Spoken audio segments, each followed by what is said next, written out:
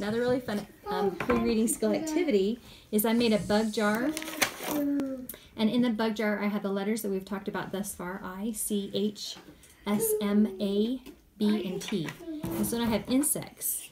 And insects um, can be put in the bug jar if you can find the beginning sound, okay? This is a butterfly.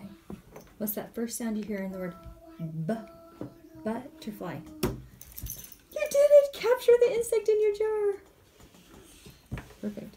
Okay, this is a spider, but I'm going to call him Henry the spider.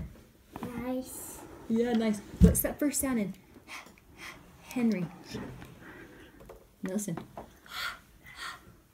Henry. The letters that? Close.